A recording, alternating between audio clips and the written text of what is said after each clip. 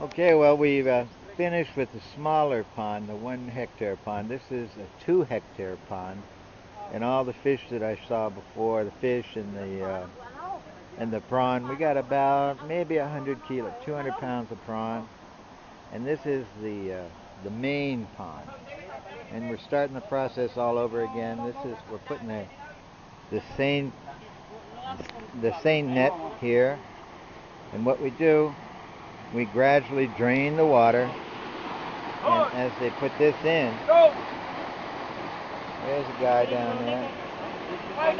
We open up the sluice gates but this is a, a net here that uh, prevents the prawn from actually going out. We're just draining down the water a little bit so far.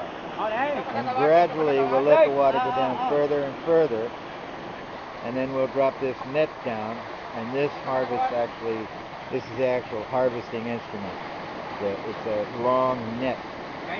And at the end of the net there's a bag, a net bag, and we just gradually take out prawn as it goes.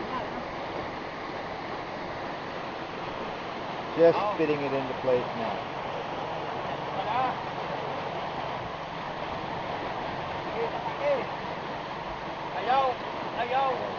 and it